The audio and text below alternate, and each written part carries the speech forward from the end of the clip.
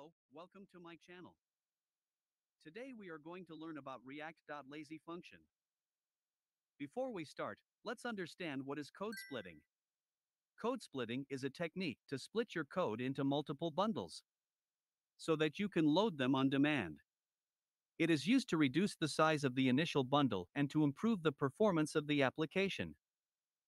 In this video, we will see how we can use code splitting in React.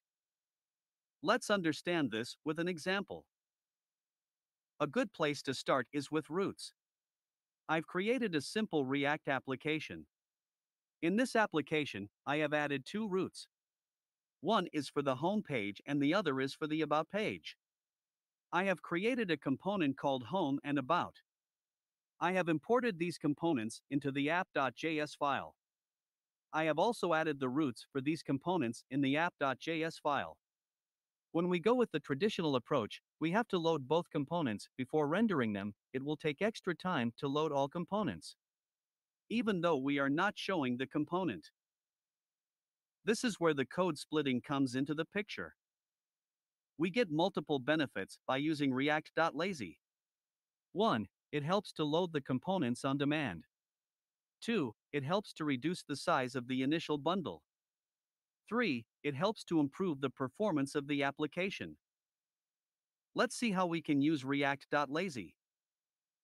To use code splitting in React, we need to use React.lazy function.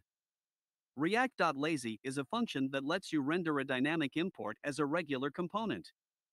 It takes a function that must call a dynamic import. This must return a promise which resolves to a module with a default export containing a React component we can use React.lazy to load the components asynchronously. So when we are visiting the home page, the browser will only load the home component, and when we are visiting the About page, the browser will load the About component. This will help to reduce the size of the initial bundle and improve the performance of the application. Thank you for watching this video.